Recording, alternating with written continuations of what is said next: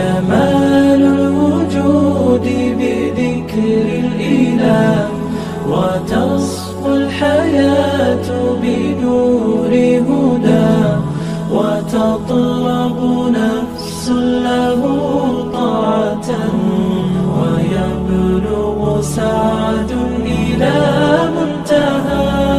فؤاد شغوف إلى ربه أحب